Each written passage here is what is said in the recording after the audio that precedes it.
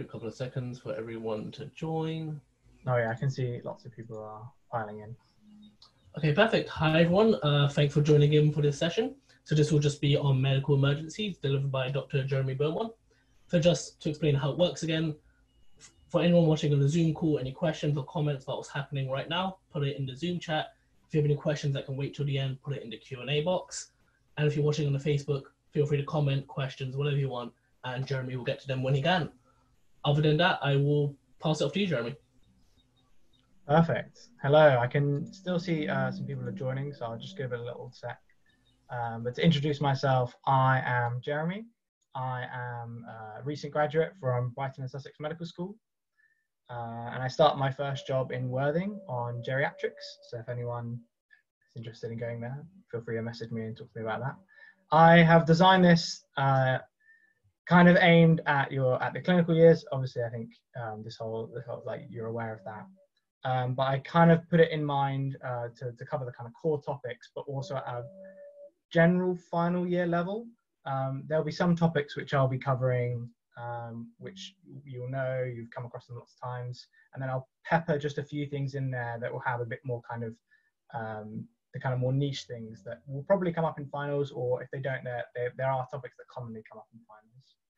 Um, so my my plan for this session was to kind of yeah go through the to- core topics uh, in a bit more detail. Um, and if you wanted to have a more discussion based topic, we can run something like that in the future um, with more kind of cases. But this would be more just kind of laying down uh, the information and kind of from my experience what I found useful.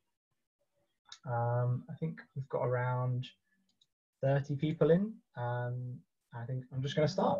I don't think. Um, oh yeah, and there's just a message in there. I think this, uh, sorry, someone just asked on the Zoom chat, I think this is uh, recorded and put on the Facebook afterwards. Um, so yeah, you can catch it up there. And I think these slides will be going out to you as well. Um, so throughout the presentation, there'll be some questions that come up on a poll. Uh, feel free to answer them and then we can get some feedback and kind of answer questions as we go throughout. Uh, additionally, it would be useful if you had some pen and paper just nearby or open a Word document or something like that uh, because there's going to be questions throughout the presentation that don't work on the poll. Uh, and I think it's really good if you can write down your answer and then you can see if you got it right. Because I think if you answer in your head, um, you, you kind of forget what you got right and wrong. Whereas if you write it down on a piece of paper, you can kind of see if you got an answer right or wrong and way to focus your revision later on. Uh, I imagine the people, most of the people here will be third and fourth years. Um, so yeah, that's kind of, that's where I'm pitching it at. Um, and yeah, so we'll get started. So yeah, we'll be covering um, acute coronary syndromes, pulmonary embolisms, pneumonia, and uh, DKA and a little bit on hypos at the end as well. Hopefully, yeah, this works. Uh, so there's a disclaimer just about uh, this content is created by me. It's not about any kind of curriculum. Um, I haven't actually read through this fully, but um, it's yeah mainly for educational purposes, and you'll get the slides uh, later on. And I've made these slides, so I haven't like based them off any kind of uh, anything else. Um, and yeah, so learning objectives, we're just going to discuss these key conditions and we're going to go through the uh, history, examinations and the investigations that you need to do for these conditions, uh, as well as a kind of basic understanding of how you manage them.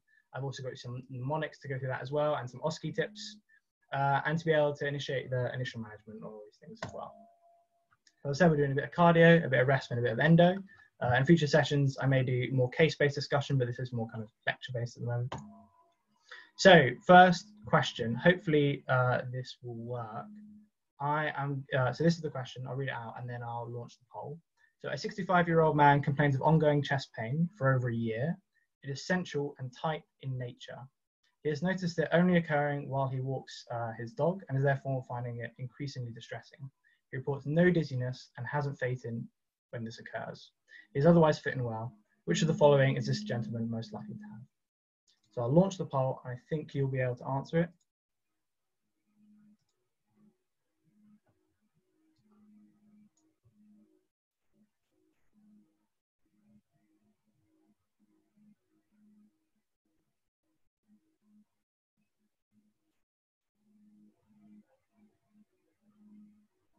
All right, I think about 75% of you have voted. If you want a bit more time, I'll give you sort of 10 more seconds.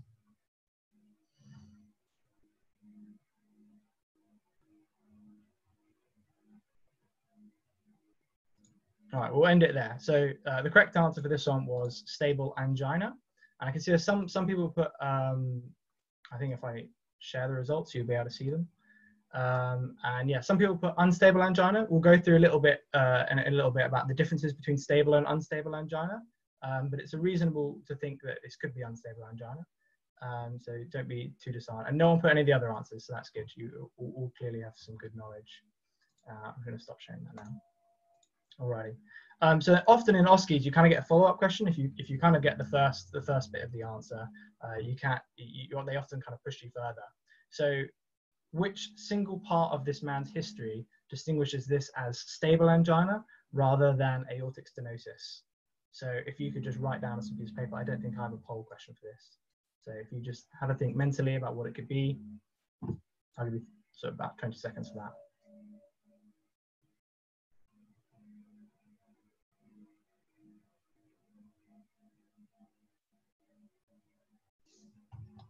I get some messages coming through as well.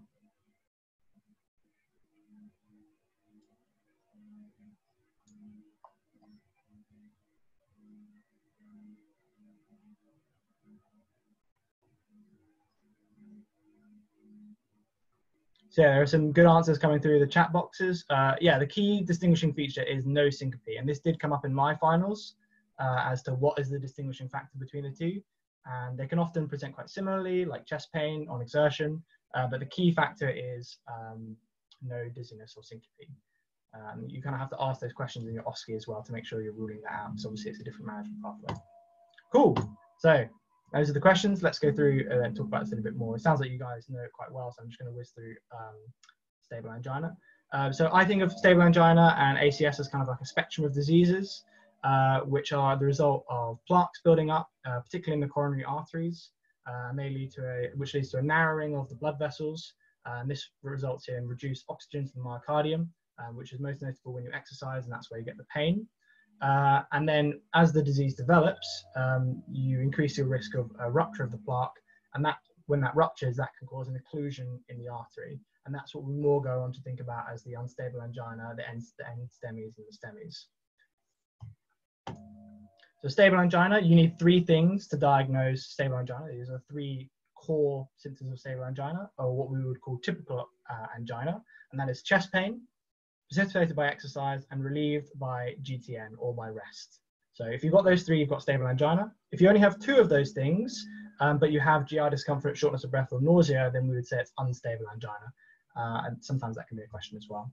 Uh, and obviously, you, when you're taking your histories, you need to ask about relevant risk factors. So you need to ask about classic cardiovascular risk factors, smoking, diabetes, hypertension, dyslipidemia, etc., because those are going to be uh, the things where you can target your uh, therapeutic interventions later on. In terms of your investigations, you need to, uh, everyone needs to have an ECG because you need to kind of rule out, is this stable angina or is this like unstable angina? Are we kind of getting into the uh, like more acute or chronic um, conditions? And then you need to do your bloods. So always say with your bloods why you're doing your bloods. So your full blood count probably for any kind of anemia symptoms. Using these, you're probably going to be giving them some kind of uh, medications. LFTs because you, might be giving them statins and you need to have a baseline because you need to review them later on. Thyroid because they could have like a thyroid storm or thyrotoxicosis, which could be them chest pain, and glucose as well because they might be diabetic, so you're kind of checking their diabetic status. Uh, and then you need to, they need to have a coronary angiogram um, and they need to be seen in specialist care if you think it's angina.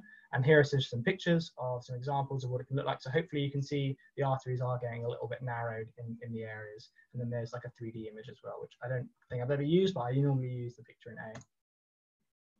So management, I think, like you say, uh, like it's showing you guys are really good with your management, but um, I always say in an OSCE or an exam that I want to split my management up into lifestyle, disease modifying, and non disease modifying. Um, so your lifestyle is going to be your weight loss, smoking cessation, reduce alcohol consumption. So these are all things you need to mention in your OSCE because it just shows that you're really thinking about the holistic picture of the patient. Uh, disease modifying, so your aspirin and your statins um, as well. Yeah, we'll come on to cardiac biomarkers as well. Um, so that's a question in, in the chat as well. Um, and there's a bit of confusion about whether you give a beta blocker or a calcium channel blocker. I've put some more notes in the um, in the note section of the slide, but essentially for kind of R level, Uh, and when I did my finals, it was certainly monotherapy beta blocker. Make sure they're not on a calcium channel blocker that can interact with that, uh, because that can cause heart block. Um, so the things that I normally like, the, I think that the one that you can prescribe is verapamil, whereas sorry, verapamil can cause the heart block, and diltiazem can. I'm just looking at my notes. Um, so that's another thing to think about if they're on uh, any of those medications. But I put some more in that. Uh, the main thing is just remember to need to go on a beta blocker and the GTN spray as well. The mnemonic I remember for um, unstable for stable angina, sorry, is GASP. So yeah, your GTN for G, aspirin for A, statin for S, and B for beta blocker. Uh, and importantly, there, need follow up. Um, that's also usually a key point in an exam because uh, it again just shows you're thinking about the longer term. Okay, so moving on to something a bit more, uh, I don't know, acute and exciting is uh, ACS. So I think of uh, ACS as NSTEMIs and STEMIs. And within NSTEMIs, you can have unstable angina and stable angina. And some people like to split them up differently and just have them as three separate class classifications, but I think they work well by classifying um, unstable angina and NSTEMIs together. Um, so an NSTEMI is anything with uh, angina, sorry, and an NSTEMI is anything with acute chest pain with, uh, without a persistent ST elevation. That doesn't mean though that you don't have any uh, ECG changes because you can have ST segment depression and you can have T wave inversion, which can show ischemia. And that was always the way I picked up um, if someone was having an NSTEMI or, or some kind of uh, myocardial ischemia. And the way I split it up again um, with uh, unstable angina is if you don't have a rise in troponin levels, then it's a unstable angina. Whereas if they do have a rise in troponin levels, then it's an NSTEMI. Um, I can also see a question here about, uh, sorry, someone talking about conservative medical and surgical management. Um, I, I have seen that management as well. So instead of splitting up your answer as uh, lifestyle, disease modifying, non-disease modifying, you split them up into conservative medical and surgical. I think that's another great way of doing it. I think all examiners want to see is that you're structuring your answer. Um, it doesn't really matter what structure you use, just so long as you're not missing anything.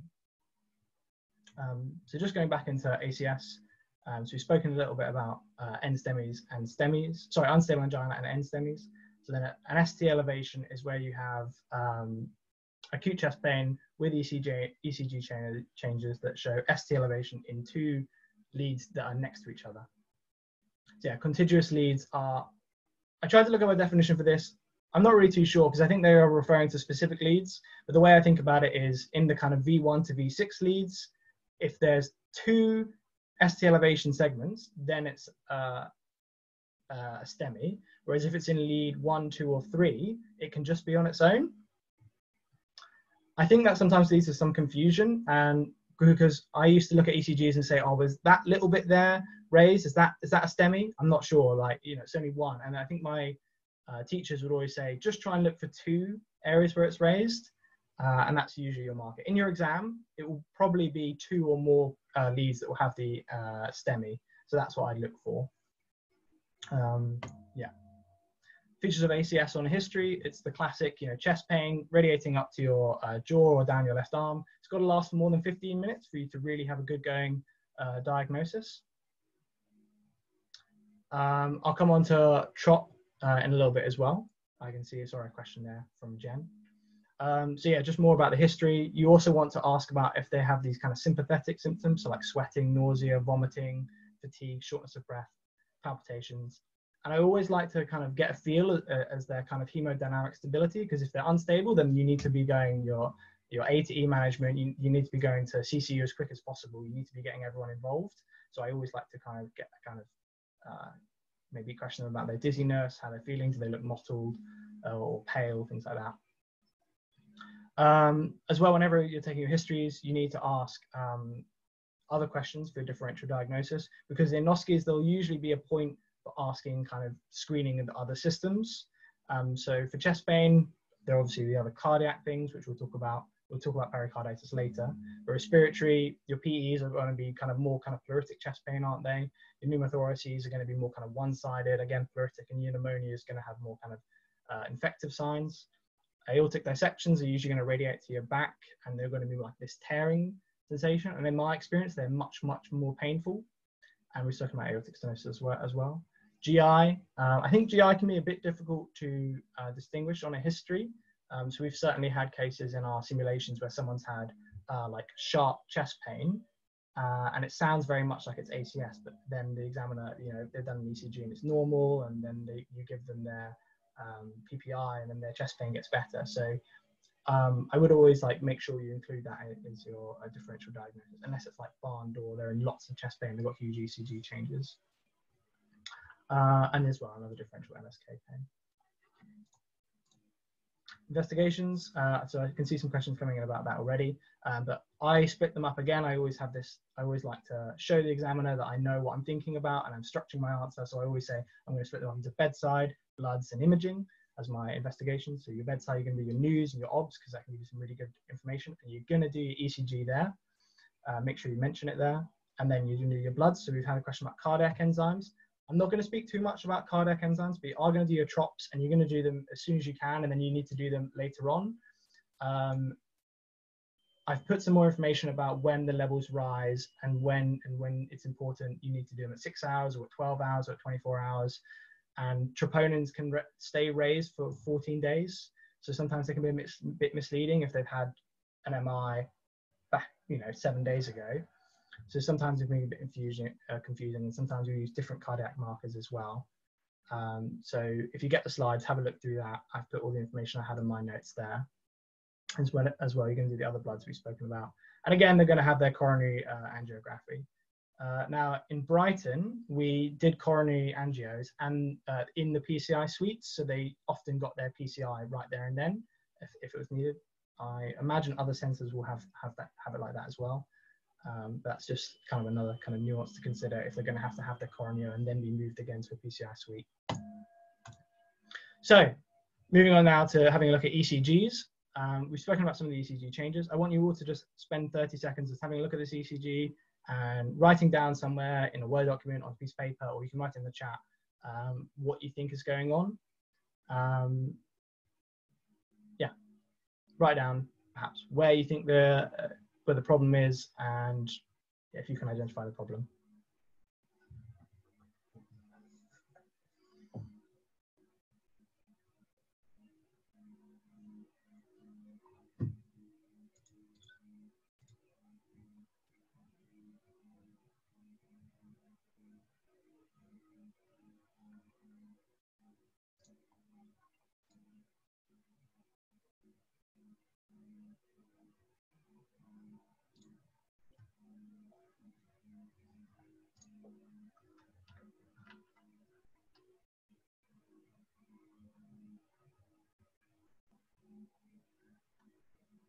Okay, so I can see some uh, suggestions coming through. Hopefully, um, you guys have had a chance to write down your answers somewhere as well, if you haven't written in the chat for.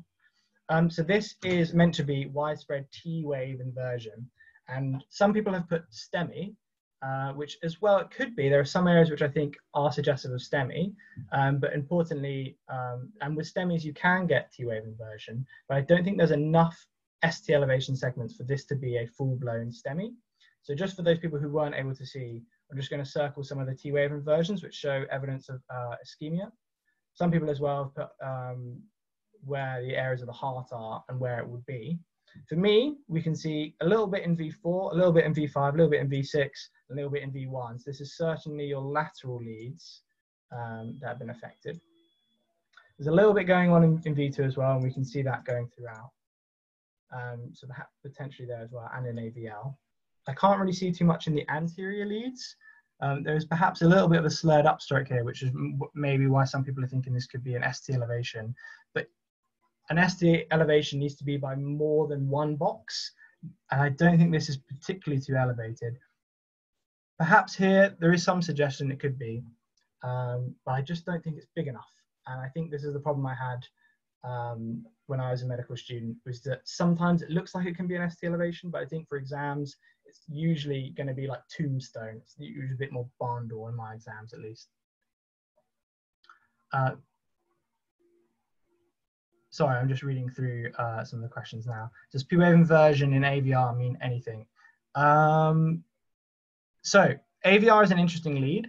Um, often, I think of AVR as being the negative lead. So often things in there can be flipped.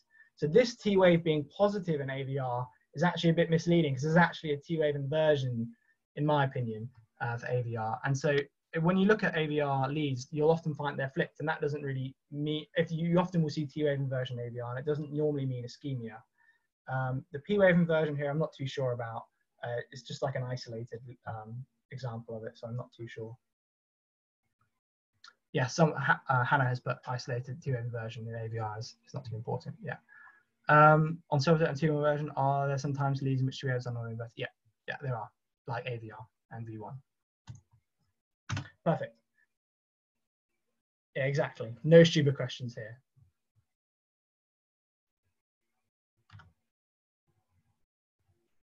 Uh, how big do waves have to be in V1 to V3 to be significant? Um, I don't actually have the, num uh, the number of boxes in the back of my mind ready. I just think of it as big. Um, but if you wanted more on that, I can go through some ECGs in another session. Um, I think for your exams, just keep it simple. Just T wave and uh, just uh, ST elevation. No one's expecting you to be cardiologists.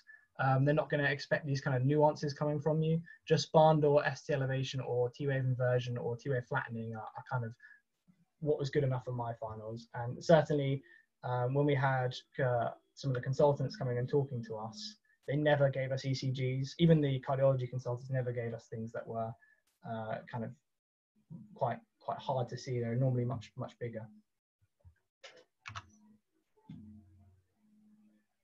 Okay, so moving on uh, to the next ECG. Um, just have a little look at it and again, write down what you think could be going on.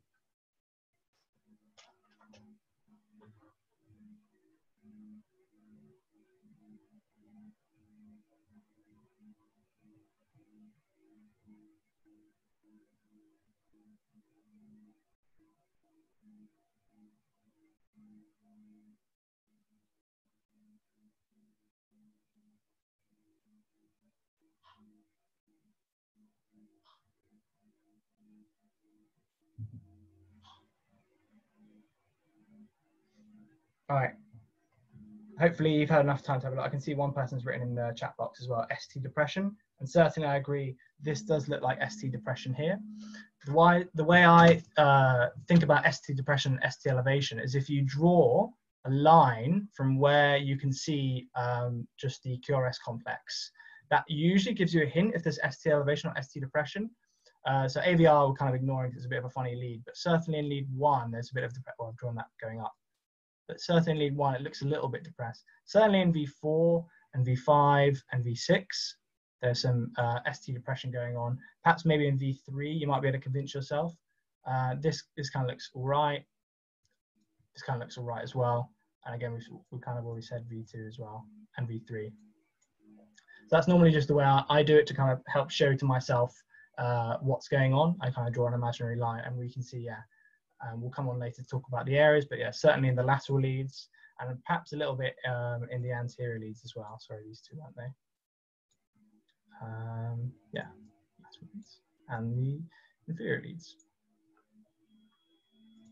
All right, just another quick ECG for you to look at. Um, I wanted to give you guys just kind of lots of examples because uh, I always found ECGs and chest X-rays really difficult to um, to interpret. So hopefully now you see an ST depression, you'll recognize that this is an anterior ST depression, particularly here, this looks quite bad, and it's in two leads. So again, as we said, that kind of rule of two to keep in the back of your mind.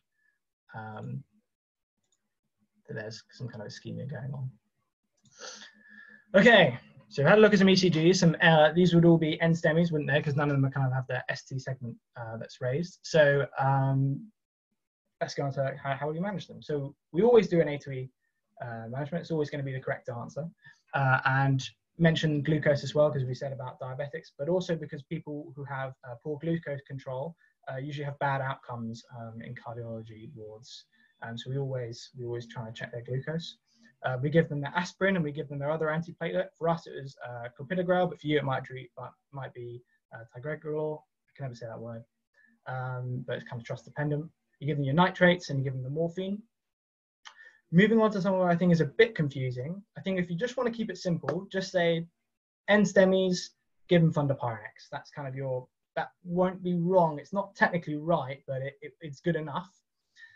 What you are meant to do is you're meant to calculate someone's six month mortality score, which is their GRACE score. And if their six month mortality is high, then you're meant to coronary angiogram them in 96 hours. And if they're not going to get that angio in 96 hours, or if they're not going to get it within 24 hours, then you give them Fondaparinux, and then they can have the angio once the Fondaparinux is worn off. It's a little bit confusing. I did learn this for my finals. It didn't actually come up. Um, they just kind of stuck to the simpler principle, which I said, like Fondaparinux for NSTEMI. Um, but yeah, that's probably what a cardiologist would be doing. They'd be doing this GRACE score. And they often give them these other things like glycoprotein 2 and 3 receptor antagonists um, I kept seeing uh, this thing called tirofiban being prescribed. Um, is that clear? Would you like me to go over that?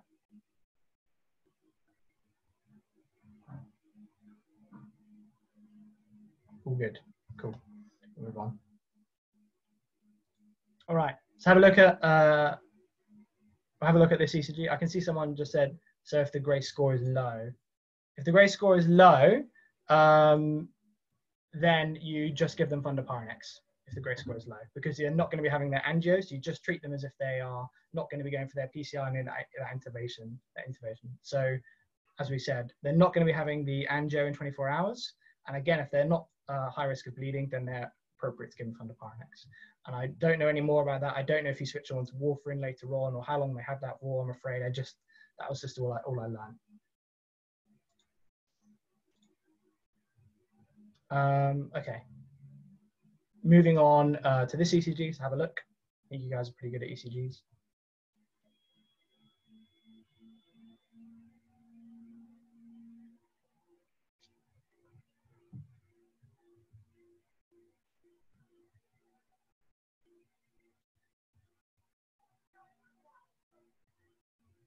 Yeah, so I can see someone has put uh, anterolateral uh, STEMI. I certainly agree this is anterior. This is certainly very obvious in the anterior leads. There is a question about lateral leads having a, a little bit of ST segment rates. I can't see, perhaps in lead one, you might be able to say, certainly. But yeah, I would go much more what Matt has said is that this looks like straight away you can see the ST elevation in leads one, uh, V1 to V4. Whereas there's some in lead one and lead six, I think I would leave that to someone who's got a much better eye. So as an F1, I'd be happy to say this looks like a like a a V1 to V4 STEMI. I don't think I'd be confident going any further. I'd let a cardiologist go with that. Um, and probably this person is going to go for their PCI, so they're going to get all that information later on. But in, in my exams, this was certainly what I got in finals. Uh, Q waves. Um, so there's obviously the QRS complexes, um, so I'm not sure what you mean by Q waves, because um, often they denote to specific things. Um, I always thought that Q waves would be more kind of this thing.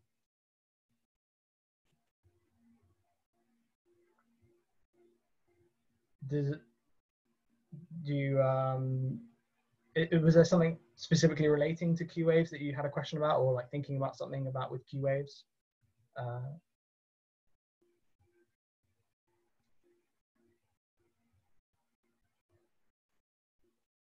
Pathological Q waves. Oh, sorry, I see now. I see. Um, I never got pathological Q waves in my finals, so I never learnt more about them. I'm afraid, um, because we were told just stick to MIs and NSTEMIs. And if it's something that's coming up in your curriculum, I'd, I'd read into it. But it seems to me like quite um, like I don't know. It might be important. I haven't uh, learned more. I'm afraid. And I don't want to give you misinformation. Oh, if you're talking about left bundle branch block, uh, yes, we will be talking about that. And we will be talking about S1, Q3, T3s later. Um, all right. So moving on now to the heart zones. It sounds like you guys are pretty good clued up on your heart zones. Um, but these are the these are the kind of three main heart zones, and they donate to the different areas of the heart. Uh, so as we said, the anterior area, the lateral area, and the inferior area. The way I remember which arteries they supply, sometimes that comes up in exams. Um, the way I think about it is the, the anterior area looks like an upside down L, so that must be the left anterior descending. So I always put my phone like if you if you forget, you can put your phone up to the up to the area and it forms like an upside down L uh, to like form a mirror. Um, so yeah, that's how that one. Lateral is the circumflex because it wraps around the ECG, uh, and that's just the way I remember that. Um, it's kind of like towards the edge, so yeah, it wraps around. And then the right coronary artery, I haven't really got a uh, good way of remembering the right coronary artery. I just remember it's the kind of other artery uh, that's on the ECG, and it's in the inferior area. Hopefully that's useful for someone. I have a look at this ECG again, uh, and let me know where you think what's going on.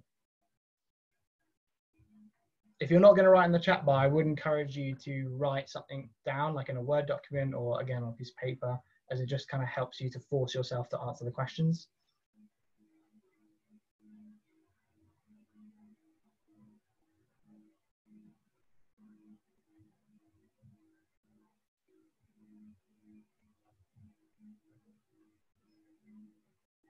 Yes, I can see some answers coming through. Certainly, I would agree this is uh, uh, an anterolateral STEMI. So we've got uh, ST elevation in two or more leads, and we've got them in the anterior leads, haven't we? Uh, going up to V4, and we've got them in the lateral leads that circle round, uh, certainly here as well. You could go on and say perhaps AVL, um, perhaps a bit of lead two. Um, there's certainly some T, uh, some ST depression in lead three and AVF. Um, but yeah, I think for an exam, anterolateral STEMI is fine.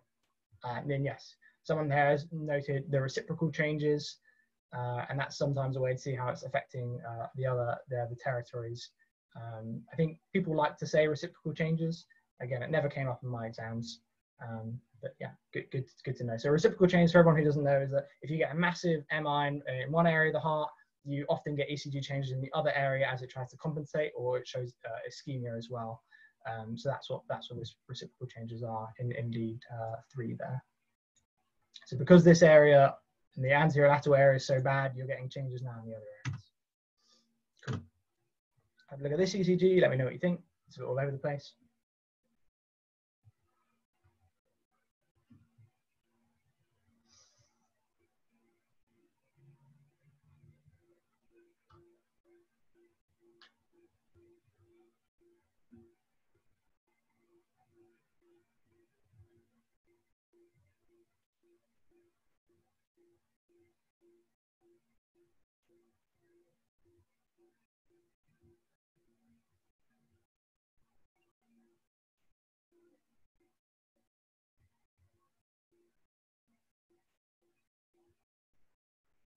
Perfect. Yeah, I can see Gaia and, and Matt absolutely, uh, and also yeah, some reciprocal changes as well. Um, so for those of you who haven't seen, seen definitely the lateral areas, we've got um, so, some ST elevation here. So this looks, this section here looks quite raised, doesn't it? Going on, kind of tombstoning around. Um, not so much in lead one, but I think over here, I think I'm, I'm happy to say this is elevated. When you compare it to kind of the baseline of the ECG, this certainly looks raised, doesn't it? Um, and definitely in, in uh, lead three and kind of uh, lead, lead two as well. This this does kind of look this segment here looks raised, doesn't it? It's, it's well above the, the natural line of the ECG, so it's certainly like a raised area. So I'm happy to say this is inferolateral. And then someone has mentioned the reciprocal changes again. Again, if, if you want to look like a boss in the exam, um, there's definitely some ST depression going on here. So we've got some ischemia going on in the um, anterior section of the heart as well, or through the left coronary artery as well. Yes, they are. Uh, oh, yes, there are some T-wave inversions going on here as well. I'd say that looks fairly inverted. Um, it's sort of going flat, isn't it? Um, and this section looks quite flattened as well, so I'm quite happy to say it's a little bit flattened. But when you compare it to kind of uh, AVR, AV, yeah, AVR, um, they certainly look inverted and, and some of them look a little bit flattened. Infralateral STEMI. Going on to STEMI management. And hopefully all of you are aware, um, you manage it using this acronym called MONA, um, which means morphine, oxygen, nitrates, uh, and aspirin, uh, plus your clopidogrel, or whatever your other uh, antiplatelet is. And, but I always think about this, do your A to E approach and then do your morphine. There is some controversy about oxygen. I'm not really going to talk about that, but basically, if you're an F1, putting oxygen on the patient isn't a bad idea. No one's going to blame you for putting oxygen on, on, a patient if they're unwell. Um, so I think that's fine. I think there is some nuances and some cardiologists would say, don't worry, but that's really kind of specialist stuff. uh, and they need to get their thrombolysis as soon as possible. They need to go to their PCI as soon as possible. Um, and yeah, so I, I remember uh, I actually don't use Mona. I use something called Monarch, which is basically Mona, uh, M O N A, and then R C for the ARC. So the R is for relocate to CCU. Again, that's a kind of another exam thing that kind of extends your knowledge. That you know, you know that you know the basic management is Mona, but then you know they need to go to CCU, which is really important, as that that is the one of the main things that prevents deaths. It's the same with strokes, isn't it? You get them to the stroke ward as quick as possible to prevent deaths. Get them to CCU as quick as possible. And the C in Monarch is just meant to uh, represent clopidogrel, so I don't forget. Uh, we've we got to only give O2 if the O2 stats are dropping. If the O2 is normal, don't give them O2. Yes, I agree. I absolutely agree. Sorry if I was unclear. Only give them O2 if if it looks like they need oxygen. Don't just whack it on if they're at 99 sats. I, sorry, I fully agree. Um, so yeah, moving on to the long-term management. Um, again, I split up into lifestyle disease modifying and non-disease modifying. So it's very, very similar to your um, uh, NSTEMI and also very similar to your um, uh, stable angina. So it's just your kind of exercise, dietary advice, beta blockers, your antiplatelets, your aspirin plus your other antiplatelet, your statin and your ACE inhibitors. Um, so as a question coming through, would I check when do you give oxygen when SATs are uh, less than 94, less than 90? So for the hospitals I worked at, we always look between 94 and 98, and that's considered fine in, a, in someone who doesn't have COPD. Um, so if they're less than 94, that's when I'd be worrying that perhaps I want to give them some oxygen. Also, if they're breathless, I'd be considering oxygen as well. Um, yeah. There's a question coming through as well. Someone saying, um, what did GASP stand for? So that was your GTN, aspirin, statin, and beta blocker. Um, so the only addition here for the long-term management of um, STEMI is that you give them the ACE inhibitors, as that's shown to have good outcomes. And hopefully, if you say all these things, your examiner's face will do something a little bit like this, uh, as mine did. Perfect. So moving on to some more ECGs. Uh, have a look. Have a look through this. Uh, let me know what you think. Uh, asks, do you give both aspirin and clopidogrel? In Brighton, we do, yeah. Um, but in London, it might be ticagrelor um, or one of the newer generation antiplatelets. This is specifically for STEMI, yeah.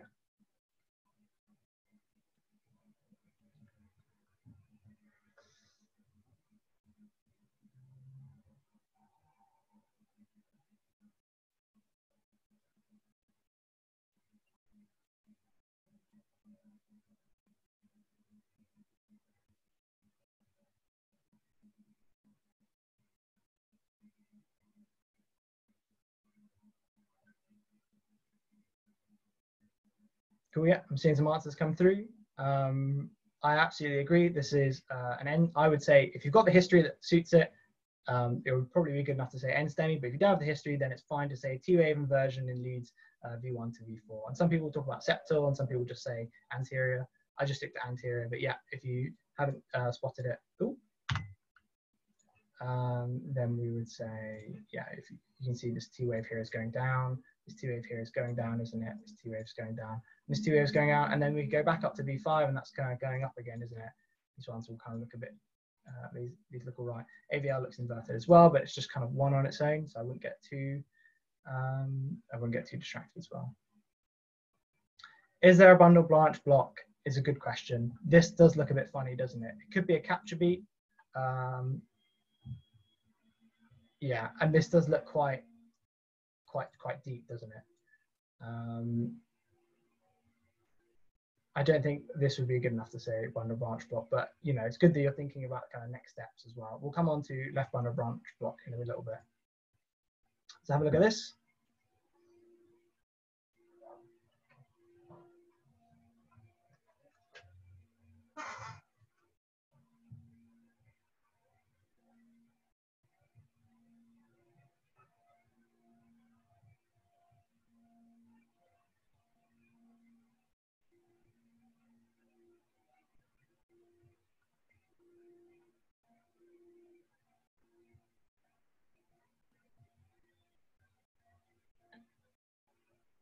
Yeah, I would, I would certainly agree. Anterolateral STEMI. Uh, I've lost my marker. Yeah, just in kind of uh, these ones, don't know. They're definitely tombstone. I got something like this in my exam where it was just kind of like barn door, and then we just spoke about the management. Um, someone said Wolff Parkinson White. My understanding for Wolff Parkinson White is if you think about your P wave and then your QRS complex. My understanding for Wolff Parkinson White is it looks a bit kind of like this, as in you kind of have this uptake or uh, the kind of merging because you kind of have that re-entry pathway. Um, I'm not going to be talking about any more on that, but just the kind of general shape I got used to was sort of like no P wave, and then it kind of started a P wave, and then it kind of slurred up.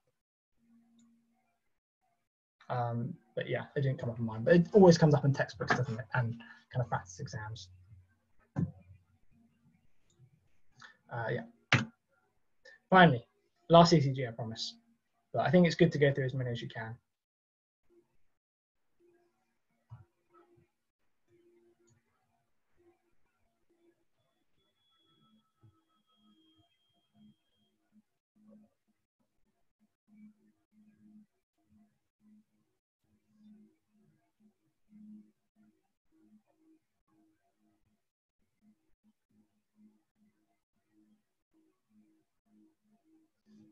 Okay, so I can see some people thinking uh, left bundle branch block. Someone else uh, said AF.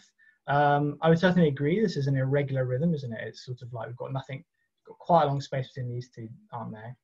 Uh, and I would agree that this is left bundle branch block.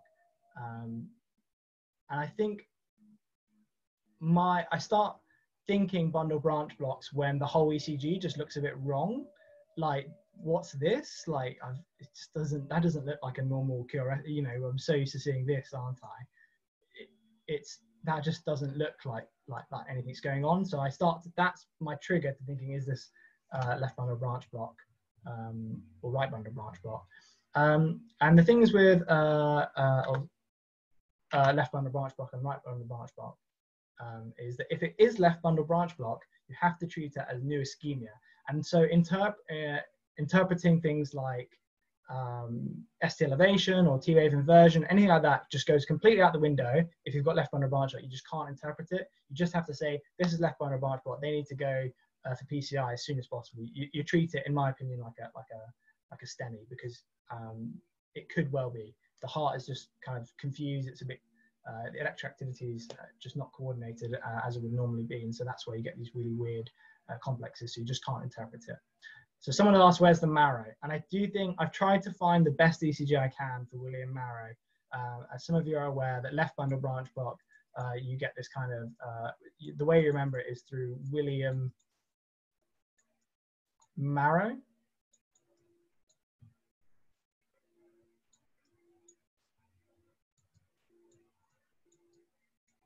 And this is meant to be, um, so there are more there is more to it than that but i think just for again finals uh, and just for like where you're at is the the you just look at v1 and v6 is the easiest way to think about it. Just look at v1 and v6 whenever you're looking at bundle branch block like i said there is more to it. I'm not going to go into it more than that um, but this is meant to represent a slight w. You really have to look close and it might not project so well under over um, powerpoint. And then the marrow is meant to be kind of this this M going up here. Um, we didn't get it in our exams. I think it's quite hard to spot. Um, the classic is that it's meant to look like this. Um, so hopefully you can see the W in the marrow here. Again, it didn't come up in ours, but it's important to know about. You might see it as an F1. Cool. So that was kind of the, the, the bulk of uh, what I was going to talk, uh, talk about it. Um, and now I'm going to kind of speed up as we kind of spend a lot of time on ECGs, and that's kind of what I wanted to focus on. It was something I struggled with. Um, but just moving on to now, so some quick fire stuff. So pericarditis uh, is, is, a kind of another differential for chest pain. Uh, the kind of differentiating factor between pericarditis and um, ACS is that they have uh, their chest pain gets worse whenever they lie flat or when they take a, a, breath in, and they often you see them sitting forward in this. The, if you have an actor, um, they'll usually kind of sit forward and clench their chest um, in, in, in, your OSCEs. Uh, and they kind of have these other kind of malaise symptoms, kind of like uh, non-productive cough or a bit of kind of flu-like symptoms. Uh, when you listen to them or when you examine them, you can sometimes hear a pericardial rub. And if you've ever uh, if you've ever heard a pericardial rub, yeah, I don't know, some of you may have it. Does kind of sound like something is rubbing uh, kind of against the, the chest wall. Is the best way I can describe it. It's kind of like a rubbery sound, something kind of rubbing. Uh, and then they can often be a bit breathless and they'll have a tachycardia as well. Um, just a kind of quick breakdown. Uh, so there can be infective causes, inflammatory causes, and idiopathic causes. And then there's this weird kind of post-MI uh, pericarditis as well. So yeah, infective are your viruses, and Coxsackie is the one to remember. Inflammatory, I just remember rheumatoid arthritis and lupus. Uh, again, just stick to easy things because there's a lot to learn. Um, and um, there's this weird thing where you can get pericarditis following an MI. So if it's within the first 20, uh, 48 hours, it's just called like a post-MI, um, it's just called a post-MI pericarditis. But if it's two to six weeks later, we call it this Dressler's syndrome. It comes up in um, MCQs quite a lot. And uh, it's this kind of weird autoimmune reaction that happens. You get a raised ESR and you basically just treat it by giving NSAIDs. Pericarditis is a bit of a, a bit of a weird one um, in terms of kind of treatment, but you, you generally just give them supportive management and a bit of pain relief. NSAIDs seem to work quite well in my experience. Um, so the thing to look for, um, I know I said we've done a lot of ECGs, but I remember we've got a few more to look at, um, is uh, you look for this global widespread um, kind of uh, saddle-shaped ST segment. And that can sometimes be confusing if you're thinking, is this a STEMI or pericarditis? Um, but it's like a saddle.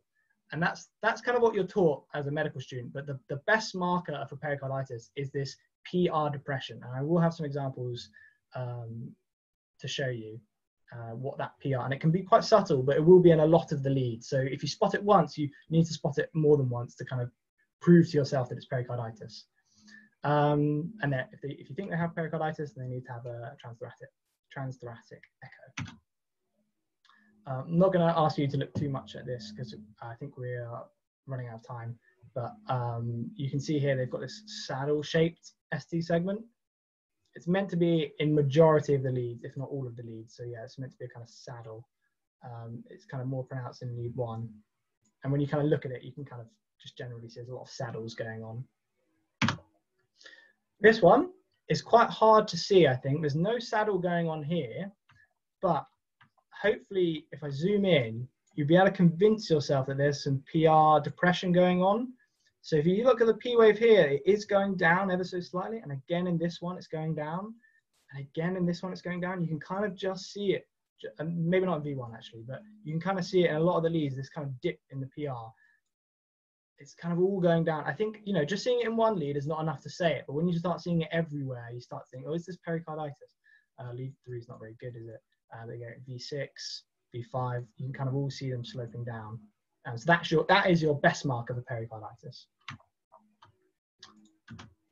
Um, and again, this is meant to show a bit of some saddles going on. Um, so hopefully you would recognize, oh, there's a bit of saddle here, but is it pericarditis where it's not all over the place? But then hopefully that would trigger you to just look at these P waves that are kind of just tailing off. This P wave's going down. This P wave's kind of eh, sort of going down, I suppose. This one is, this segment here is depressed, isn't it? Normally it's quite flat, but they all kind of depress a little bit. If you draw the line here above it, I can't draw it when I'm zoomed in, but if you draw the line above it, it is just below it by about a box. So it's quite quite difficult to spot, but hopefully you wouldn't get this in an exam. You'd get it in the context of a history and it would be which is the most likely, um, and hopefully you'll be able to recognize this pericarditis. Management, NSAIDs, as I've said, uh, colchicine is a, is a fine NSAID, but you, you can use something uh, weaker if you want to use ibuprofen or something. But yeah, I think we normally said colchicine in our exams. All right, moving on now to some respiratory stuff. So I'm going to launch a poll. Um, have a quick read of the question. 65 year old woman comes in with sudden onset shortness of breath uh, and chest pain on inspiration. You suspect she might have a PE, she's otherwise fitting well, which investigation is most likely to be diagnostic.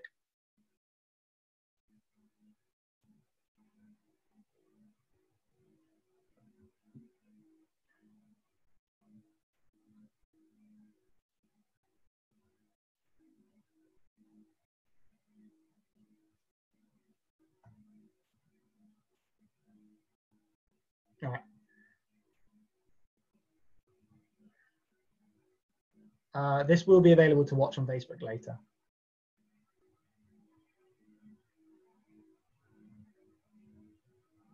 Right, I think most people have voted uh, have, so I'm just going to end and share results.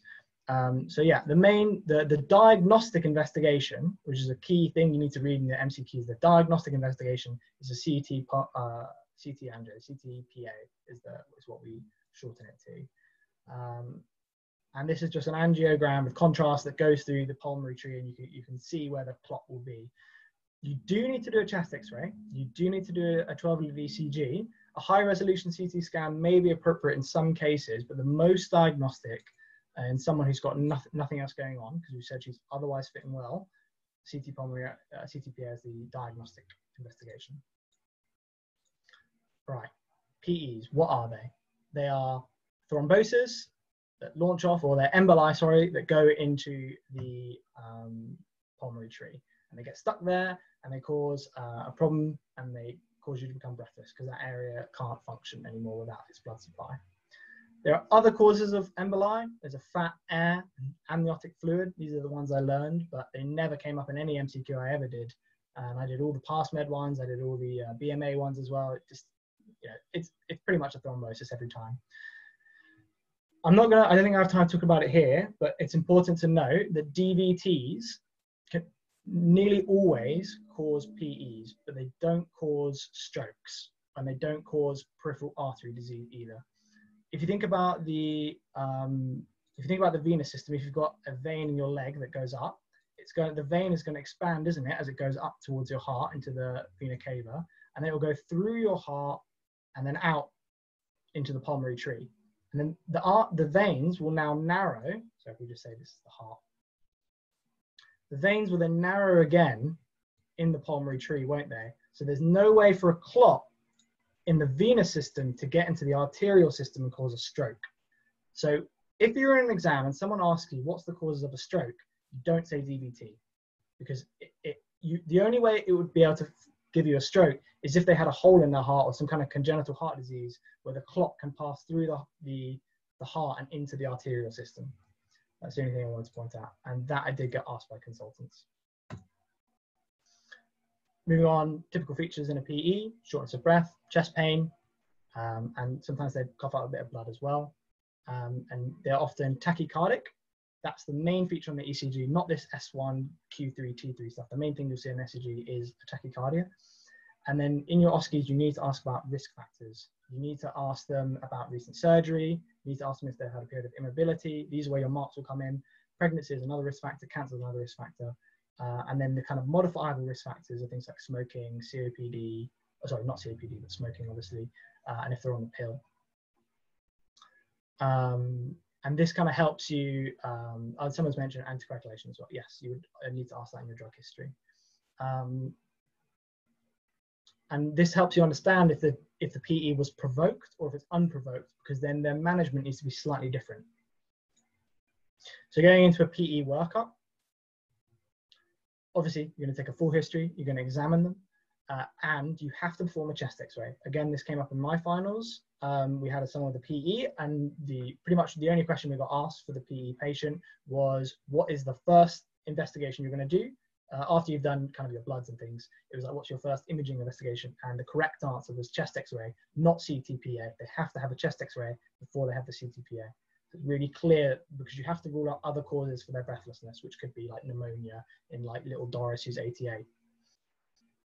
So I've made this little algorithm on the following page, but essentially you do the chest x-ray and then you do a Wells score. And if the Wells score is greater than four, so that is 4.1 and above, then um, you give them the CTPA.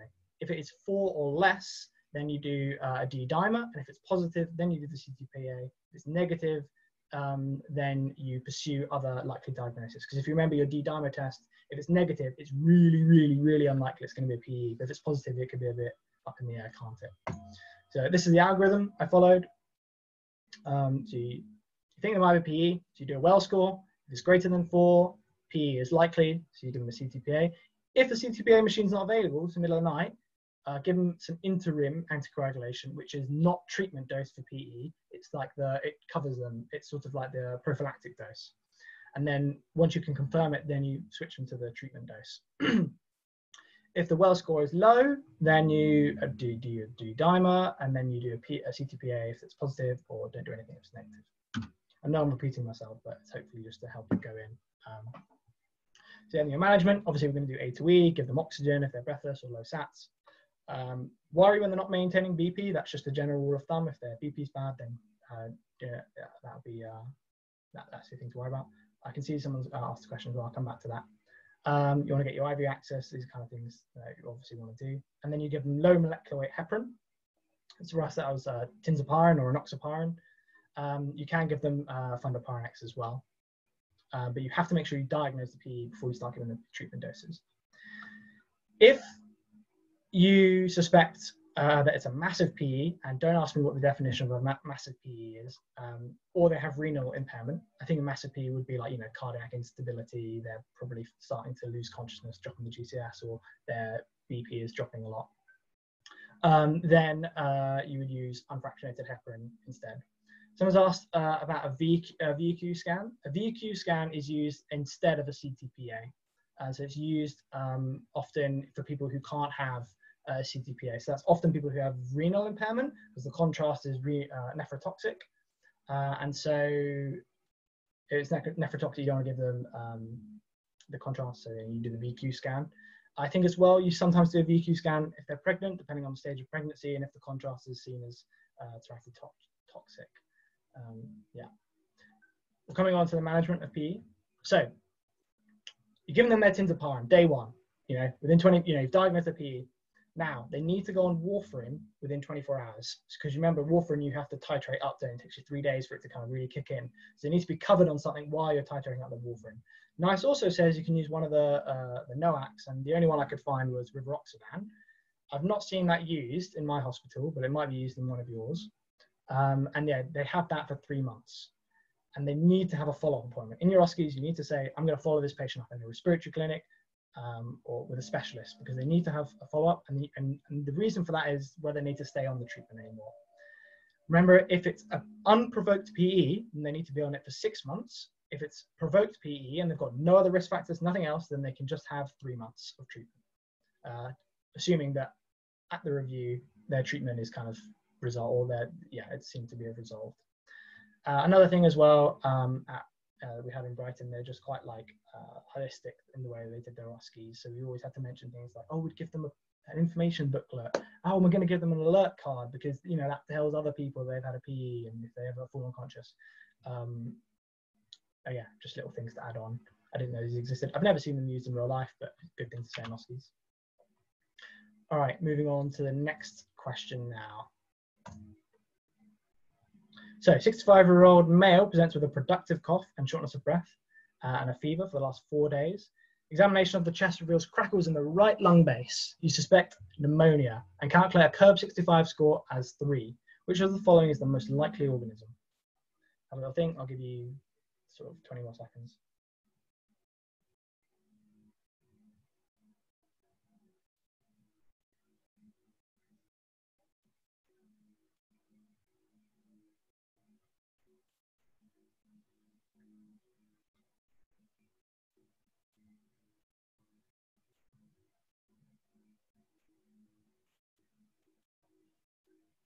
Target INR uh, to answer Omar's question is yeah between uh, two and three. Uh, greater than like three to four is for people who have like metallic heart valves who have AF. Um, that's the only other one I remember it for. Cool. Uh, so good job, everyone. Uh, really good knowledge. I assume the other people perhaps haven't haven't covered microbiology so much. Um, the ones to remember is the most likely organism for pneumonia in someone who's otherwise kind of fit and well, got nothing else wrong with them. If this question isn't asked, isn't kind of throwing any other curveballs at you, um, then yeah, go with strep, strep pneumo.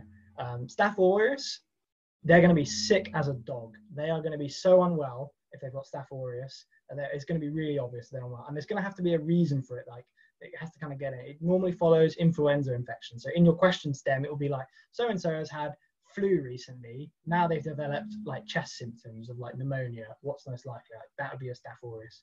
Klebsiella will come onto a Mycoplasma legionnaire will come onto a little bit. Matt asks, um, oh, Staph aureus as well, most likely IVDU, correct as well. Uh, that would normally be in the stem. Um, Matt asks, uh, in OSCE setting, do they need to know how many weeks a month follow-up they need following up? I learned it, yes, because it was a follow-up question. It's some things, it's good to know the follow-up. Certainly, uh, asthma, they like they like to know. In my OSCE, I got asked, you know, what would I be doing? And it was on the marks um, to say that um, you'd follow them up uh, for asthma. So I imagine um, for PEs as well. If, if you've got a full PE station, um, then I would probably mention it. If it's like an A to E assessment, I probably wouldn't mention it. Okay. Just to let you guys know, it is two o'clock. I'm definitely overrunning. I'm going quite slowly from that content that I have. I thought it was just better to go through it in a bit more detail and answer questions. Um, we are on slide 52 of 81, um, but that's mostly because the next couple of slides are mainly just going to be lots of pneumonia chest x-rays, so you can get an example of what they will look like. Um, if, you, if you want to go, feel free to leave. Otherwise, uh, I'm going to keep teaching. Probably going to be about another 30 minutes, um, depending on how things go. Right, so classification of pneumonia. So I think there are two main um, classifications. Um, so I'm just going to get rid of this poll. Okay, uh, there are two main classifications, and these classifications are used to help strategize like how which antibiotics are going to give and how you're going to make your diagnosis. So the first uh, kind of category is it is it community acquired, is it hospital acquired, or is it aspiration pneumonia? Now your community acquired, they're going to develop the pneumonia within uh, five days or less of an admission. So at day five, if they've got the pneumonia, it's a bit it's a bit kind of up in the air what they could have. But if it's day four, three, two, or one, then you would say it's community. Some guidelines say if it's between day three and day five, then consider a hospital-acquired pneumonia. Um, that's absolutely fine. That's that. Uh, those are those guidelines. But certainly, if it's three days or less, then you would go. This is a community-acquired pneumonia. It's likely going to be kind of more typical bugs. If it's hospital-acquired pneumonia, if it's if they've if they've been in hospital for five days, it's classified as hospital-acquired. That day three to five is just a bit woolly. Um, and hopefully in your exams, they'd be really mean to give you a day four pneumonia. Aspiration pneumonia are fairly, uh, they, you would see it in the stem of the question, like they have stroke or they've been unconscious for a while, or they've, you know, they would have a reason for aspirating, wouldn't they? The other way you diagnose pneumonias is into typicals and atypicals. And your typical pneumonias are those that, that we kind of all associate with. So they have the productive cough, um, they have shortness of breath, they have malaise, they have infective signs, they have fevers, they're breathless, or they're, they've got a raised um, heart rate. And it's acute. They look unwell. It's pneumonia. You know, we know what pneumonia looks like. And th- that's caused by typical bugs. Yeah. So make sure you go through your history and ask about, you know, have you been feeling unwell? Any headaches? Have you been coughing up anything? Any sputum? Have you, you know, had a sore throat? Um, kind of just make sure you ask for your kind of common symptoms. Importantly as well, whenever you're taking a pneumonia history, ask if they've been abroad, ask if they've been in contact with any animals, and always ask their occupation. I haven't mentioned it yet, but whenever I take a history, I always start my history by confirming the patient's name, their date of birth, and their occupation. Because in my OSCE, someone's occupation was they're a shipbuilder. And as soon as they said that, I went, you know, what's going on here? It's very rare. Shipbuilder is very specific, isn't it? And it turned out they had interstitial lung disease, of which their exposure to that was due to shipbuilding. So it can immediately give you that the, the, the way in if they if they say something that's a bit off. Um, so I'd always, always, always ask uh, their occupation at the start because it can just give you a hint. Moving on now, sorry, to the atypical bugs. Um, they are your more chronic pneumonias. They don't really make sense. They're like pneumonia, but you're not really, you know, the symptoms aren't really fitting too well together. So they often have a dry cough. They, they might be coughing up a bit of blood. Um, and they have these kind of extra pulmonary symptoms. Like, what does that mean? What, you know, basically anything else that can go wrong with them, they've got something else going on. So they've got a weirdly low sodium, or they've got a weird rash, and they've got this dry cough, like things like that. That start thinking, like, what is going on here? And the, the kind of tip I got was that they often look better than they are. The other way to define atypicals is that they don't have signs or symptoms of lobar pneumonia. So when you chest x-ray them, if it's just in one lobe, it's likely going to be atypical. But if it's kind of bilateral or if it's kind of all over the place or just the whole lungs thought out or have got cavitating lesions, that's atypical. And obviously the antibiotics used for typicals are um, different. I've made you guys this slide to summarize all the bugs that I learned for finals. This is my final slide. It served me well. Um, questions did come up and this is kind of the bare bones you need to know for each of the bugs. I'll go through the, each of them for you. Uh, there's no point putting up there I'm not going to talk through it. So um, strep pneumonia we've spoken about, most common, lobar pneumonia. They're going to be sick. Talk about that. Haemophilus influenza. It's a gram-negative rod if they ever give you that. Um, and it's common in COPD patients. You're going to notice in the stem it says patient's got COPD. That kind of swings you towards that. Pseudomonas. Now, Pseudomonas is a not very virulent bug. It's quite hard. It, it doesn't grow very well. So therefore, in order for it to grow well, it needs a way in and it needs a way your body has to not be able to resist it. And so those are your ITU patients, those are your immunocompromised, those are your cancer patients. Those are, they need a way in. That's the way I think about it. They're not always sick, very sick because of it, like with staph, but they, like I said, they are previously immunocompromised and now they've got this pneumonia and, and that can kind of push everything over the edge. Now, staphs, as, as, as I've said, they're with your IVD users or they're following influenza infections and they are really, really, really sick. They're septic, their heart rate's off the charts, their blood pressure's way down in their boots. They're not, they're not looking good. Their fever's crazy. Um, and yeah. Moving on to the atypicals, Klebsiella, I think about in alcoholics and diabetics. So if that's in the stem, just kind of flag up in your head. This is perhaps Klebsiella. Uh, and they form these cavitating lesions. They look a little bit like um, uh, TB. I can't actually tell the difference between a TB and a Klebsiella, but it, for me, it's the history that gives it away. And sometimes they cough up this red jelly sputum.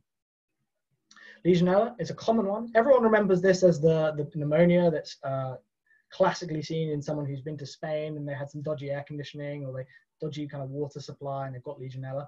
In my experience, and the microbiologists at Brighton told me that that's you know classically in an exam question, but they were devious and they didn't give us any of that stuff. They gave us what, what they see normally, which is 50 year old men who are alcoholics, they tend to get um, Legionella, Legionella pneumonia, apparently. Um, and they often get this weird low sodium, so hyponatremia, and they often get a lymphopenia, so they get a high lymphocyte count. Whereas normally with pneumonia, you'd expect a neutropenia, so that's the kind of telltale sign that this is a Legionella. And in our exam, they gave us a, um, a set of bloods, and their uh, lymph, uh, lymphocytes were way up, and then neutrophils are normal, and then their sodium was way low. So it's kind of like, okay, this is this is Legionella. Pneumocystis uh, jirovecii or uh, jirovecii. I've never known how to say that, um, but that's your HIV associated with HIV um, uh, bug. Presents with dry cough. The classic is that they get exercise-induced desaturations and they don't have chest signs. And I'll show you a picture what that looks like.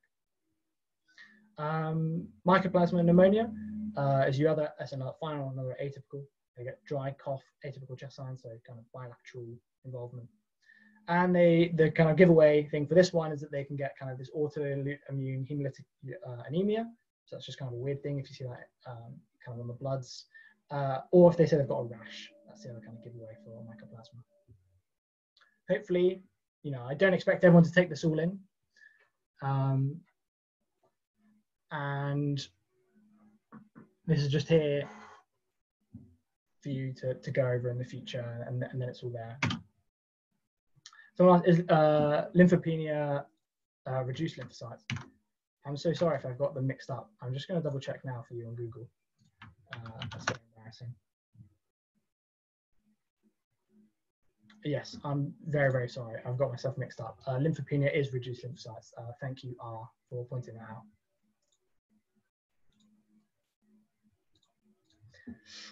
Whoops. Um, yeah. Hopefully you remember that it's uh, reduced lymphocytes. All right, moving on now to, to lobar pneumonias. So these are all lobar pneumonias, and these are just a good way for you to practice looking through all the different lobes and what all, all the different signs can be. Uh, and they're typically elderly patients, and they typically have kind of underlying diseases. Um, I'm sure we've seen some pneumonia patients by now. This is, this is this slide is here to represent and show to you the kind of anatomy of the lungs. Um, obviously, we've all done anatomy, but sometimes it can be a bit uh, confusing to try and understand the lobes. So I put this in here to just kind of help you uh, when you look through the slides in the future as to where the different things are. And the key thing I wanted to talk to you uh, today about was something called the silhouette sign. And this is something that really helped me identify where the bug is. Because it's always the exam question, is it? Where is the bug? Someone always asks it, where's the bug? In which lobe is the bug? Because they're quite happy for you to say it's in the right lower zone, um, but that doesn't really say if it's in the right lower lobe or the, or the right middle lobe. So in order to, to understand which lobe is what, we use something called the silhouette sign, which is where you look at another border And if the border is obliterated, which is the radiological word for it, which means that the border is kind of fuzzy, you can't see it very well, then we say that, that um, the bug is likely to be sitting on top of that area. And this applies when you're looking to see if a bug is in the right middle lobe or the right lower lobe or in the left upper lobe or the left lower lobe. So if the bug is uh, sitting on top of the heart, uh, we can see here from the side view, if we're looking at the right lobe here, if it's sitting on top of the heart, it will obliterate the right heart border. So it will completely shadow all of this, and you'll see it on some of the x-rays later on. Um, right middle lobe obliterates the heart border. So if you can see that the border is shadowed, the bug is in the right middle lobe. Same is true for the left upper lobe. So if the bug is in the left lung, so you're seeing some kind of fuzziness here, and you're seeing the left heart border is obliterated, then it's in the left upper lobe. And you can see here that the left, uh, the bug would sit here on top of the heart, and that's why it obliterates the border. Hopefully you'll see that uh, coming up in a little bit. Um, the other thing to say as well is always look to see whether where the bug goes and where the increased density goes, because if it goes higher up, uh, then it's going to be in the right uh, upper lobe rather than the right lower lobe. Whereas if you can see the fissure and the bug and the kind of consolidations going down, then it's more likely to be in the kind of lower lobes. All right, have a look through some pneumonias now. Quickly just think through where's the bug. Um, if you can write it down, that'd be great.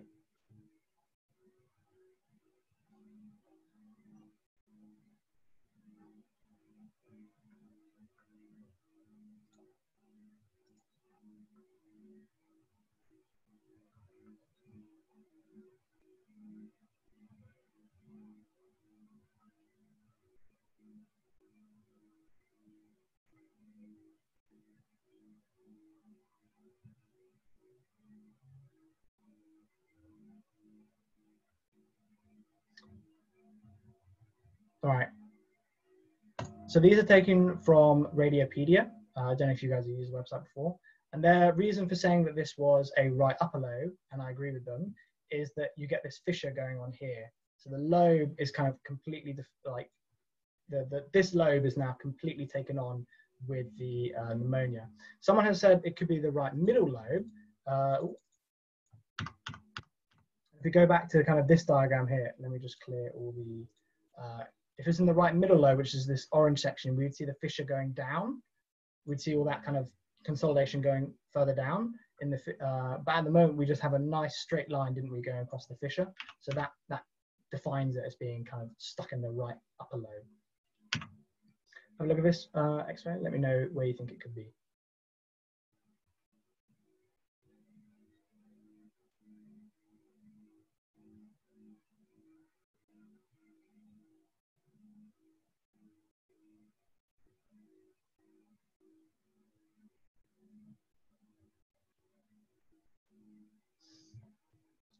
I agree. Left, left lower, and some someone's put uh, lingula. So if you thought this could be the left upper, because it could be over that area, we can see here, we can draw a nice line over that left heart border. So the heart border is not obliterated. It's in this left, uh, like lower section. Uh, the previous X-ray was showing right upper lobe consolidation. Um, so this one is showing uh, uh, left lower lobe consolidation here. Um, remember that if you say consolidation in your exam, consolidation is saying this is pneumonia. So I normally say there's increased density in that area because you're not sure. If you're just being showing an x-ray, you can't say for certain if it's pneumonia unless you've got the history. Um, whereas if you're saying, uh, so yeah, if you're, so if you're saying consolidation, then you are saying this is categorically pneumonia. Um, whereas if you just say increased density, you're kind of covering yourself by saying I can recognize that area is a bit kind of more white, but I, am not confident to say it's pneumonia at this point. Nice, yeah, Have a look at this one. Let me know what you think. Uh, AP, I'm not sure what the sail sign is. I've not heard of it before. Okay, so Ellen, have a look at this uh, chest X-ray and let me know whether you think um, which lobe you think it's in, uh, and everyone as well.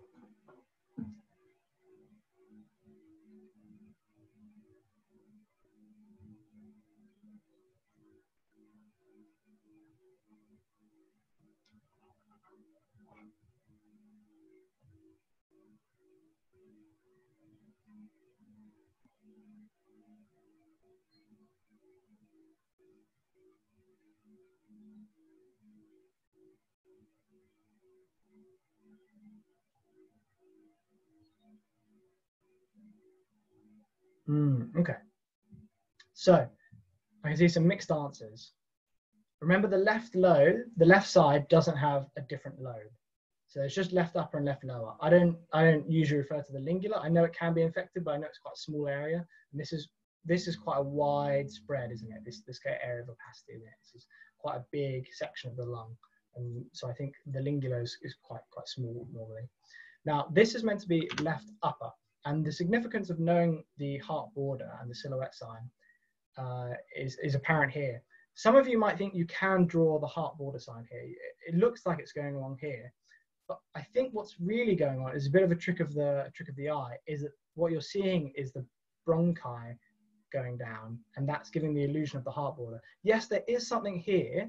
I agree that you can see the heart. There is, you know, we can roughly say it's in this area, but the border is not as nice as it was on this slide.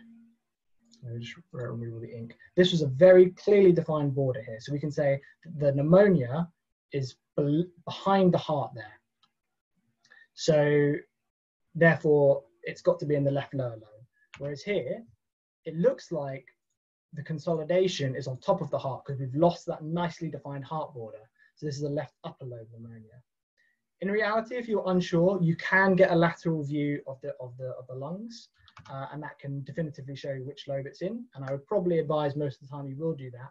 But in, in, in the exams and in MCQs, they tend to give you these kind of uh, quick fire uh, questions as to which lobe it could be in. Um, so yeah, we can see this heart border here isn't, you know, you can't really distinguish the side, a, a clear line between these two areas. So that's why we say the heart border there is obliterated. Hopefully, uh, Eleanor, that's helpful. Um, we're going to go through a few more examples as well to hopefully uh, get it in. Okay, so have a look at this one. Let me know um, what lobe you think the pneumonia is in.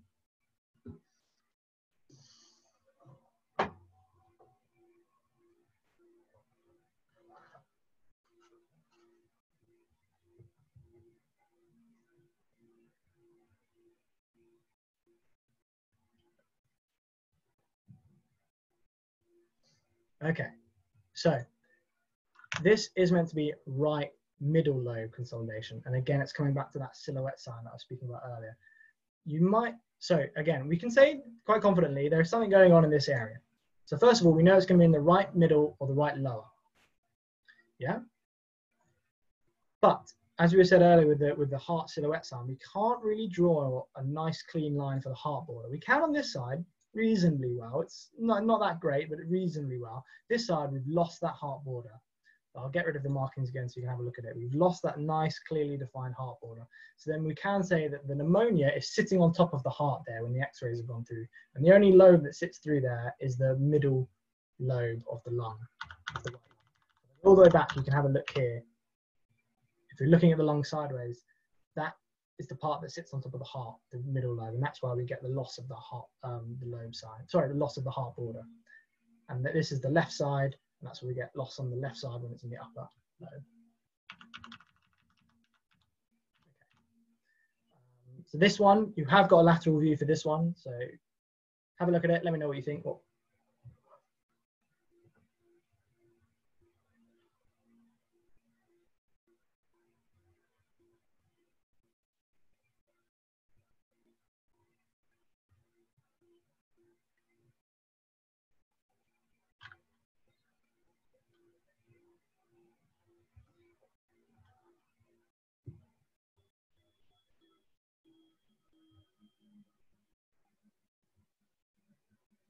Okay, I can see a mix of answers coming through.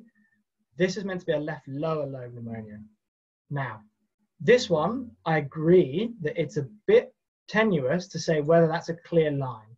And so whatever the doctor looking at this has done, they've got a lateral view of the lungs. And if we divide our lungs up, this is the upper lobe, uh, lobe and this is the lower lobe on the left side, we can see that the, the pneumonia is down here. And so this has to be a left lower lobe pneumonia. It could be the upper if you just had this one, but with the with the other X-ray, it looks a lot uh, more defined, doesn't it? You can clearly see the pneumonia down there. So that's why this is the left lower. Uh, again, all these slides will be up online for you to look through later. Have a look at this one. Let me know what you think.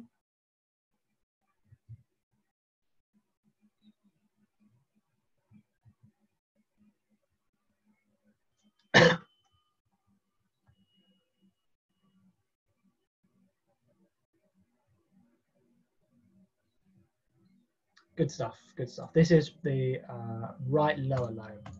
Um, I, I, think you might you might think this is the uh, the silhouette sign, um, but I think for this one we can say that is a nice clean border on the heart. I can, I think I'm quite happy to say I can draw around it. I think uh, someone on this one may have done a lateral view, um, and because they're a bit unsure. So yeah, you could say this is right middle and I, I agree. It wouldn't be, um, it wouldn't, it's more likely that it's in the uh, right lower lobe, but you can't definitively say it is. So someone's done a, a, lateral view and the pneumonia is meant to be back here. So if I draw in the heart, uh, the lobes for you, you kind of have the, uh, the kind of upper here and then the, the lower kind of kind of extends up, doesn't it? Uh, and the middle is meant to be kind of here, isn't it? Those are kind of the lobes. And so the heart, this area here is meant to have the uh, pneumonia. Hopefully, hopefully that's useful and hopefully it'll help you in your exams. Um, this is just, uh, so does anyone have any questions about that? I know I've gone through quite quickly. Um,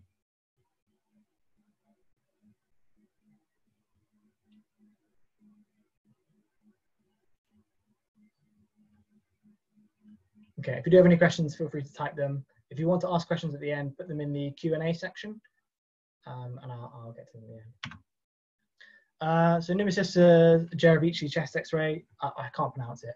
Um, but this is just, you can see the difference in the pneumonia. This is an atypical pneumonia. You can see the whole chest array. It looks a little bit like, um, um, what's it called? Um, I'll just grab my head. Um, not the effusion, the pulmonary edema. It looks a bit like pulmonary edema. Um, you know, it's just kind of widespread. Oh, miliary TB as well. It could equally, yeah, I agree. It does look a little bit like uh, miliary TB. It's kind of everywhere, isn't it? And you need the history to put it, put it together. And if they had HIV in the question, you would know this is uh, the HIV TB, the HIV pneumonia. So yeah, workup, as we said, full blood count. I've put um, uh, I put the kind of descriptions here. That's meant to be low neutrophil count. Um, U&Es, you're going to be checking for um, dehydration. I agree uh, with Fizzer, looks a bit like ARDS as well. Um, so you, you're U&Es you're going to be doing because you want to get that U for the uh, CURB 65 score, and you also uh, can, and you also might want to check their sodium, looking for Legionella, uh, and we also check their CRP. And sometimes we say in, in Brighton we used to say if the CRP was over 100, just give them antibiotics. It's not very. I don't know if it's good medical practice, um, but I have seen it on some guidelines if you suspect suspect, pneumonia and the CRP is over 100, it's good enough to give uh, broad spectrum antibiotics uh, while you wait for the chest X-ray. Um, you can do arterial blood gases if they're sat low and you want to see if it's the, the desaturating when my exercise and things like that. Um, but it also can be used for if they've got, if you suspect they might have some kind of underlying condition as well. Uh, and you want to say, well, do they have COPD? Well, this could be more likely to be Haemophilus influenza, couldn't it? Um, do chest x-ray, obviously, and as well, you need to do cultures and you need to do your blood and you need to do sputum cultures. Don't forget that you need to do both of those uh, and need to send them off for MC&S. So don't say in your exam, oh, I'm going to do blood and sputum cultures. You're going to say, I'm going to take blood and sputum cultures and I'm going to send them off for MC&S because I'm going to see what bug it is, if it grows well, and what antibiotics it's sensitive to. You need all three of those. You can't just say, I'm going to do cultures. You need to kind of specifically say that you're going to do MC&S on them. CURB 65 score. I think hopefully you're aware of this. I've put it in here in case you're not. Um, basically, it's a scoring system. Um, know the ranges. I did learn the ranges for my exams um, as a uh, just kind of like quick at your fingertips. Um, and yeah, if it's zero, probably fine at home. If they're one, consider the admission. So everyone over 65, you're going to consider for admitting. Uh, and two or more, that's the that's a get them in, get them in. Because these things, these numbers are really hard to reach. Like a uh, respiratory rate of over 30 to get your point, you got to be really unwell to get that. New confusion, you got to be really unwell urea over eight, you've got to be really unwell to get that. So yeah, they're if they're scoring two, you've got to get them in. Management. Now, I think the management for pneumonia is difficult because it's, there's obviously a lot of different antibiotics, and there's obviously obviously national guidelines and there's obviously local guidelines. For exams, they tend to examine you on national guidelines, and certainly for the PSA, that that was how things went.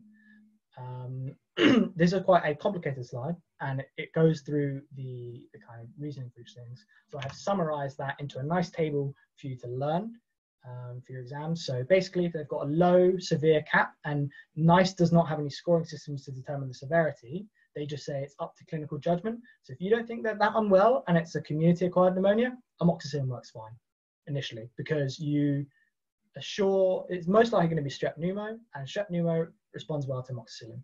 You can give them a macrolide or tetracycline um, if you're not sure. Sorry, if they have, if they have a pen, uh, allergy. And if you want examples of each of these, I put that in the notes section as well. So a tetracycline would be your doxycycline. Uh, a macrolide would be something like clarithromycin, erythromycin. If it's severe, then you give them co-amoxiclav, which is a bit more stronger than amoxicillin, and you give them a macrolide, clarithromycin. Moving on to hospital pneumonias, if it's low severe, again, up to clinical judgment, then you give them co-amoxiclav. Um, and if you and if you suspect that it's a severe hospital acquired uh, pneumonia, um, then you give them uh, pipe, acillin with tazobactam. Now, I always just remember that as tazocin. Uh, we used to call it vitamin T on the wards. Just give them a bit of vitamin T. You know that'll get them better. Um, it's probably not the most uh, professional way of calling it, but uh, it's just because it used to be given out so much. Um, and that's kind of roughly what I remember for pneumonias. They're kind of like just three things. Um, Freya, in case I didn't answer your question, severity, NICE doesn't have a scoring system for severity, and so it's up to clinical judgment. There is no kind of way to say this is a severe or this is a normal or low severe pneumonia. They just say it's up to you. So if they're, I, w- I would go on their blood pressure, I would go on their heart rate, I would go on how unwell they feel, um, I'd go on if they're sweating, I would go on kind of all these things, what their CRP is, um, yeah, what their kind of ranges are for their for their, uh, oh, and also if they're septic. All right. Moving on to the last section of this talk. Let's have a read of the question. This came up in my exam.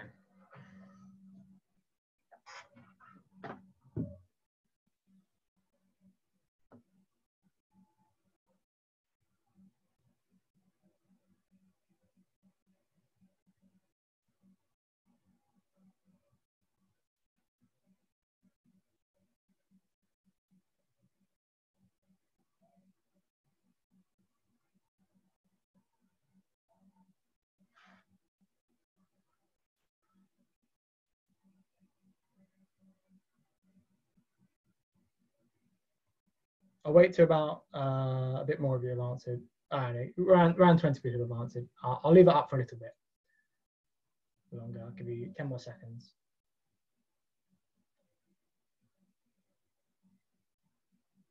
All right, stop it there. Okay, so majority of people said give them some uh, 100 mils of 0.9% saline over the next hour. Some people went for uh, insulin, and some people went for uh, a bit of saline with some potassium in it as well. This, I think, is a confusing question, uh, and so I'm going to go through it, go through it all. Um, the correct answer is what the majority of people have said. So you give them just fluids, because the question is asking what the most immediate treatment is. So you have to imagine you're in the A to E scenario, and what's the first thing you're going to give them? And the first thing in this scenario is fluids. Now I got this question wrong uh, when I did it in my mocks. because I gave them insulin. I thought, you know, they've got DKA. What's the treatment for DKA? It's it's uh, insulin. And you know, you know, we can, you know, if you're going to give one thing, give the thing that, that, that saves them. But the correct answer is is uh, fluids, and that's reflected in guidelines as well. So the first thing you're going to give them is fluids. You know, while you're giving them fluids, you're going to get a nurse there to go do the insulin, get set up the insulin. So you know, you are going to get give probably the insulin at the same time. But for the for exam purposes, this is more just about exam technique first thing you're going to give them is uh, fluids. So just just a few more slides. There's only, there's only a couple more, only about five more slides. Um, so DKA, what is it? It is, they have to have diabetes. They have to have evidence of ketones, either on blood or urine or on a blood. Uh, I don't think you can get it on a gas, actually. I don't know I put that there. But some gas machines might do it. Uh, I think actually the ones in Chichester could read um, the ketones because they're really good gas machines. And they have to have evidence of acidosis. Yeah, so notice there that there is no mention of their glucose level. Okay, so for DKA, you can have a glucose level of 10. You can have a glucose level of 5, but you can still be in DK, DKA if you uh, fit those criteria. In reality, you're never really going to get someone with a glucose of 5 who's got DKA, but it's just an important point to recognize that in, uh, in OSCEs they might ask that. And you don't you never talk about the glucose, it's just the presence of ketones. Features. So they often have abdominal pain, they often are really thirsty, they're often really, really dehydrated, which is why we give them fluids. They might have evidence of this Kussmaul breathing. So for anyone who hasn't seen that, that's kind of deep, fast breaths. So if you've ever gone for a run, that's the kind of breathing you do. It's the kind of, as opposed to the PE patient, which, which is going to be a much, much more kind of faster, rapid breathing, a bit more kind of like, much more, uh, much more rapid. All right. Someone asked uh, about can you get it in type 2 diabetes? I'll come on to that as well.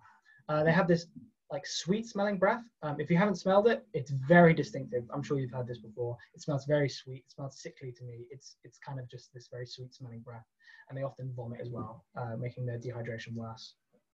Uh, and in your OSCEs, you need to find a precipitating factor. So in my simulation, they asked me, I had someone with DKA, and the main marks were for finding out that she had been staying with her mum and had forgot her insulin or had a chaotic lifestyle, and been taking like a few of her insulin um, a day um, or missing doses, and so she developed DKAs. And that was really important to talk about that and counsel her about that.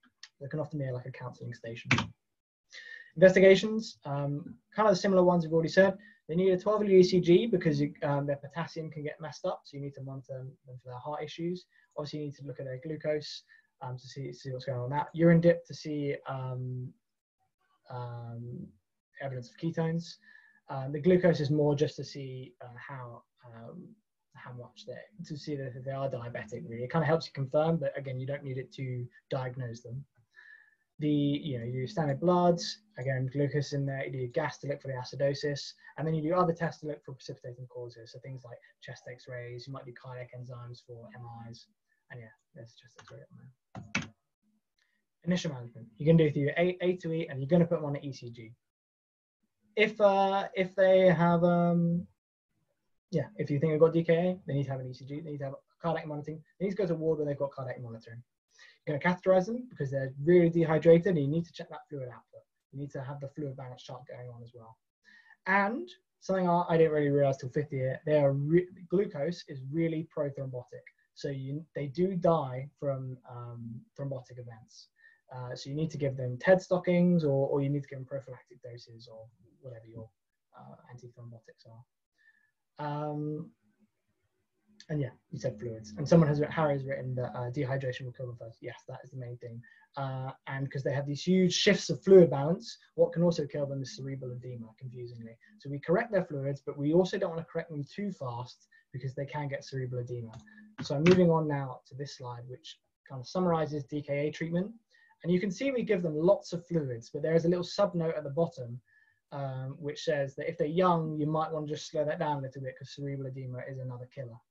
Um, so in my uh, exam, they asked us to prescribe uh, fluids, and you had to prescribe this first one, and you had to prescribe the second one as well. So the, it's with the second liter, that's when you add the potassium chloride. And the reason you add potassium is because uh, insulin draws out potassium from the cells. Uh, sorry, puts potassium out of the serum into the cells. So you give them potassium to keep it going around their body. Um, and yeah, so you're going to check their uh, potassium regularly. Um, and then the definitive treatment is you're going to give them insulin. And you're going to give them so much insulin, you're going to keep pumping them full of insulin that you may have to give them glucose so that you can give them more insulin. So that you may want to have to give them glucose so they don't have a hypo. So you give them 0.1 units per kilogram per hour, and you only stop giving them uh, insulin once their ketosis has evolved. Not when their glucose returns to normal. You you stop giving them insulin only once their ketones have resolved. And yeah, as I've said, you give them so much. If their glucose levels are coming down, you give them more glucose so that you can give them more insulin. And you continue their long acting insulin as well on top of that. So you're giving them a lot of insulin. Um, they need to go to HDU. You need to monitor their fluids, as I've said. They need to have hourly bloods um, for at least the first 24 hours to check the potassium. And we use a blood gas machine for that. And you need to have a diabetic nurse come along um, as well for the follow-up. As we said, follow-up is of the extra marks. Complications, I've written these here for you to learn for the exams, but the main one I think about is the thromboembolisms because they're really prothrombotic and the acute kidney injuries because they're so dehydrated they can die from it. Hypos, just a really quick uh, final note on hypos. Just remember for your exams, four is the floor. Four is the floor, it rhymes, really uh, easy thing. If you look at a, a, glucose level and it's, and it's less than four, four is the floor, so they're probably having a hypo It's common common OSCE scenario, A to E, is got an unconscious patient. You need to check their um, glucose status. Uh, symptoms can mimic a bit like an MI, so a bit of nausea. Uh, can also mimic a, lot of things, really, can't it? Uh, dizziness, sweating. And the thing um, that kind of distinguishes them is they look drunk. So often nurses will say, when we had simulation in our um, OSCEs, and they said, you know, a nurse would say, oh, this stupid, you know, annoying drunk patient, we just found them on the side road. You know, what are they doing? it's so annoying we have to treat these people. She was being really kind of antagonistic. And then when you went through your A to E, you'd find that she, uh, the person was diabetic and they had like a really low uh, glucose. They'd taken a, overdose of insulin or something. Uh, and yeah, they're unconscious. Uh, these are kind of three ways I think about it. How you give glucose, and this comes up in the PSA. So if you're in the community, you give them glucagon. Uh, if their GCS is not reduced, you can just give them some food. And if they've got a low GCS, then you give them uh, 100 to 150 mils of 10% glucose. And then you need to repeat the BM in 10 minutes. Um, and then uh, if it's still low, then you repeat the above. And if it's come up a bit, then you can give, give them some carbohydrates, lactose. All right, that, that is it for me. That is all, everything I have to say. Some takeaway messages. Uh, I think we've, we've gone through them in enough detail. I'm not going to you any longer. There's some more useful links here uh, if you want to look through the guidelines for pneumonia and the antibiotic treatments, especially with COVID. Uh, these have now changed. Um, I put the latest ones on my slides, uh, but this might be a useful link to look at as well. Uh, and yeah, if you want to give me some feedback, uh, this would be great. You can scan it or go to the link. Um, uh, yeah, that's everything I had to say. If in the future you like my teaching and want me to teach again, I would probably, I'd be happy to teach more kind of discussion based so more kind of like go through individual cases. I can go through my OSCEs cases and we can just talk through kind of what I had to do and I'll just give you the scenario. And it'll be much more kind of question and answer based teaching rather than this lecture style. Uh, so put that on the feedback uh, and then they, then they can do that. No, perfect. Thank you very much for being so interactive. It's been good.